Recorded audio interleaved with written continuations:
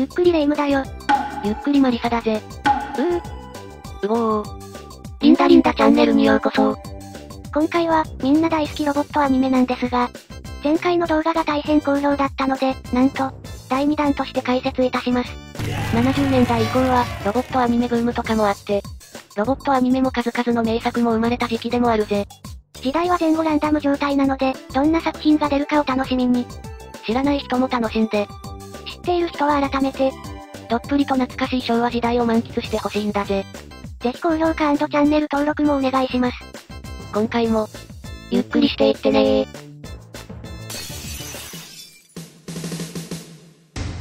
110王ボライオン1981年ファーラ姫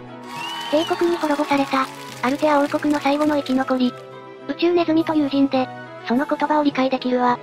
仲間に対しては小金のみ名前で呼び、あとはあだ名で呼んでいるぜ。銀河戦士した後は青獅子に登場。獅子座連合結成の際は、名手が右足と現れ、黒獅子に乗ると単価を切って、ゴライオンをメインで操縦したわ。戦闘服の色はピンク。110王ゴライオンとは、1981年昭和56年3月4日から、1982年昭和57年2月24日にかけて、東京12チャンネルで放送されたテレビシリーズの題名、及びその主役メカの名称、前後12話、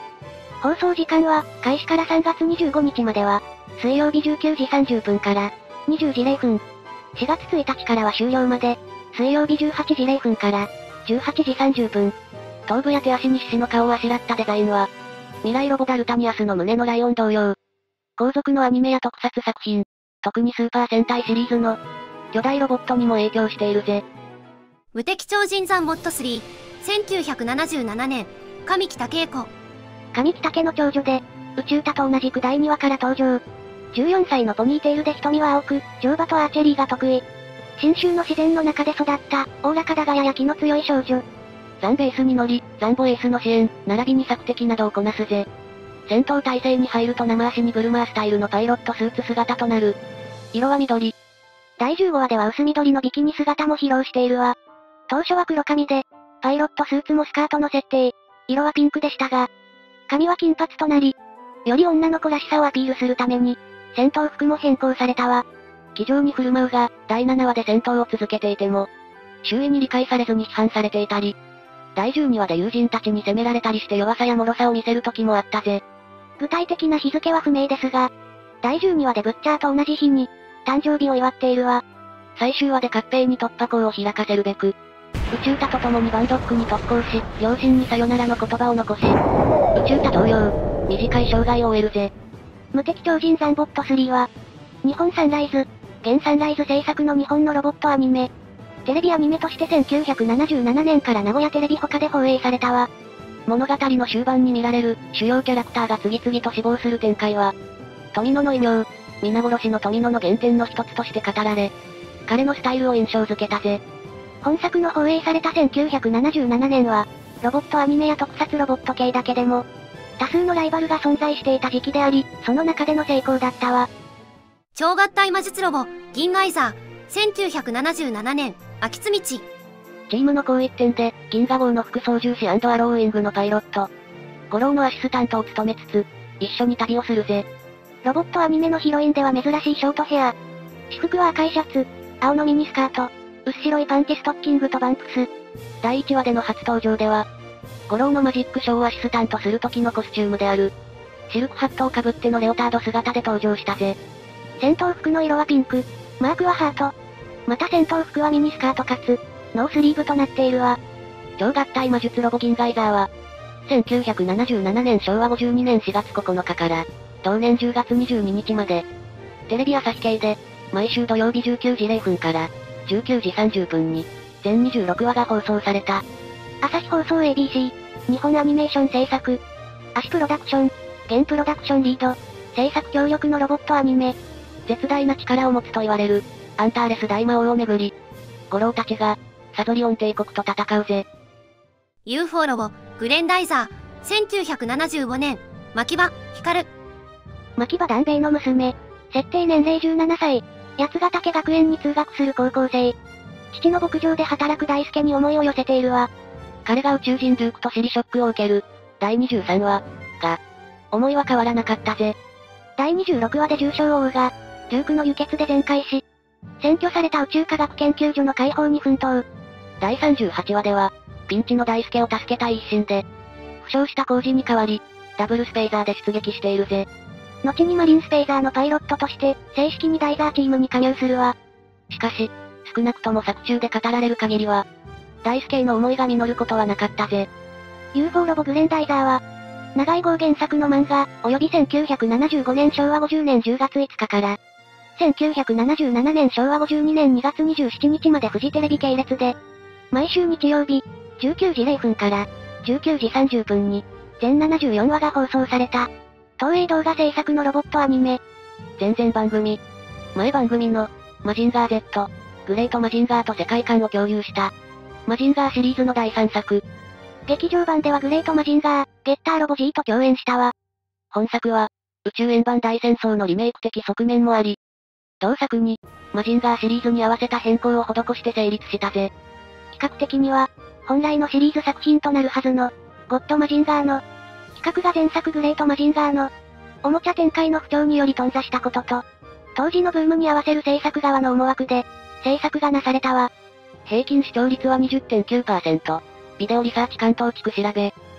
UFO ロボ、グレンダイザー、グレース・マリア・フリード。第49話から登場。フリード製の王女でデュークの妹。設定年齢は14歳。7歳の頃、フリード製脱出時にデュークとはぐれ、従者と二人きりで地球に逃れたぜ。工事と親しくなり、やがて恋愛感情に近い思いを寄せるようになるわ。一部ゲームなどでは、工事がさやかとマリアの二股掛け、と称されることもあるが、本編や映画でさやかとマリアが共演したことはないため、工事を取り合う描写は存在しないぜ。担当声優の吉田は、前にやっていたメグちゃんに似ているので、マリアを初めて見た時は驚いた。という旨を述べているわ。なお石川県による漫画版の、グレンダイザー対グレートマジンガーでは、デューク・フリードには弟と妹がいたことになっており、ベガ星連合軍の、フリード精神略の折に、バレンドスの手によって、二人とも惨殺されているぜ。東証ダイモス、1978年、泉七。泉博士の孫娘、京志郎と共にガルバーに登場し、戦闘に参加するわ。和也をお兄ちゃんと呼ぶが、それ以上の激しい恋愛感情を抱いており、エリカに嫉妬したこともあるぜ。最終的には潔く自らの恋を諦めて、二人を祝福したわ。怒った時などに、ワンと、犬の鳴き真似をするのが特徴。設定年齢16歳。東証ダイモス、1978年、エリカ。本作のヒロイン、リオン大元帥の意地で、リヒテルの妹。聡明で芯の強い女性。共に金髪だったリヒテル、リオンと違い、黒髪のロングストレート。普段は、肩を大きく出すギリシャローマ風の服装をしていることが多く、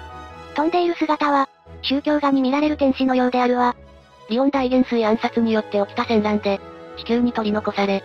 記憶を失い倒れていたところを和也に助けられ恋に落ち、ダイモビックへ引き取られるぜ。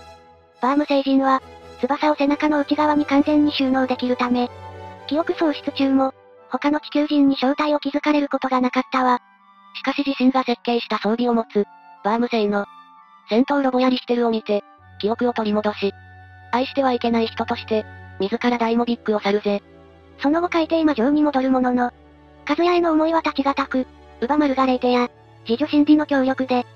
和也とのコンタクトを図るが、ことごとく失敗。兵士の手前もあり、リヒテルはエリカの処刑を決断。メルビの計らいで窮地を脱したが、運命に流されるだけではいけないと、地球とバームの架け橋となるべく、解放区の発展に尽くすようになるぜ。しかしオルバンが、小バームに眠る10億のバーム星人を、洗脳している事実を知ったため、オルバン暗殺のためにあえて、オルバンからのプロポーズを受け入れるわ。結婚式の最中に、オルバンを暗殺しようと探検を隠し持って式に臨むが失敗。リヒテルに救われることになるぜ。最後にはリヒテルに命がけで、民を救い出そうとした。和也との仲を認めてもらったわ。東証ダイモスとは、テレビ朝日の土曜日、18時0分から、18時30分枠において、1978年昭和53年4月1日から、1979年昭和54年1月27日にかけて、全44話が放送されたテレビ番組。放送終了後の1979年3月17日には、東映漫画祭りの一本として、第24話が劇場公開されているわ。本作は東映テレビ事業部が企画し、制作を日本サンライズに委託したアニメ番組であるぜ。超電磁ロボコンバトラー V、超電磁マシーンボルテス5に続く、長浜ロマンロボット3部作の第3作目に数えられているわ。鋼鉄ジーグ、1975年、薄君は、ビッグシューターのパイロット、幼い頃に両親が行方不明となり、柴家に引き取られて、ヒロシとは兄弟同然に育ったぜ。芝博士の助手を務めるわ。通称ミッチー。冒険大盤ではミワッペ。格闘能力も高く、歯には兵士程度なら倒すことができるわ。黄色いワンピースに、白いストレッチタイプのロングブーツ着用といういでたち。ヘアバンドは単なるアクセサリーではなく、両端のスイッチを押すと電動でシールドが加工し、ビッグシューター登場時のゴーグルとなるわ。芝博士の夫人キクエからは娘のように可愛がれ、キクエから授かった着物姿も披露しているぜ。ヒロシへの恋愛感情の描写はなく、後半のヒロインの座は、フローラに譲った感があるわ。鋼鉄ジーグ、フローラ将軍。第32話より登場した、リュウマ帝王直属の幹部。元は山岳地方の村を治める部族の、長の娘であったが、少女であった頃にリュウマ帝王による襲撃によって、村は全滅し家族も殺され、自身もロボット兵士の矢を受けて命を落としたものの、リュウマ帝王の手で復活し、配下にされていたぜ。リュウマ帝王が、己の運命を狂わせた元凶と理解しながら、蘇らせてもらった恩義から、忠誠を誓って非道な作戦をも指揮していたが、本来は心優しい女性であり、ヒロシから、生まれながらの悪魔と詰まられた時は、動揺して激しく抗弁してみせたわ。やがてヒロシの懸命な説得を受け続けたことにより、失っていた人間愛を取り戻し、帝王を裏切って、ヒロシの危機を救った後、大破したヤマタのオロチから投げ出され、ジーグの手の中で生き絶えるぜ。フローラの遺体がいつの間にか消え去ると、その死を悼むかのように一面の花畑が現れ、ヒロシたちは、その光景に思いを馳せたわ。鋼鉄ジーグは、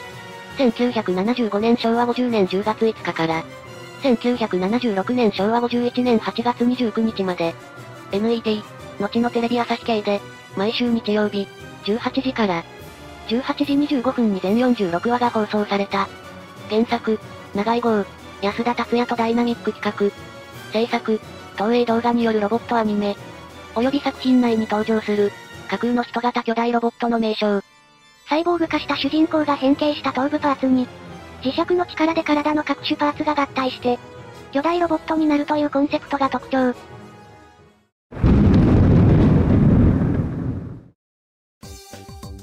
どうもお疲れ様でした。お、帰ってきたね。最後まで見ていただきありがとうなんだぜ。楽しんでいただけましたか？今回は、懐かしの70年代と80年代のロボットアニメヒロイン、作品を解説しましたが、いかがでしたか？今まで解説したアニメもありましたが、知らないアニメも多かったので楽しかったわ。まだまだ他作品にも、たくさんのヒロインがいらっしゃるので、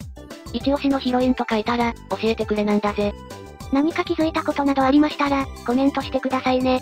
よかったら、高評価チャンネル登録もお願いします。次回来た時も、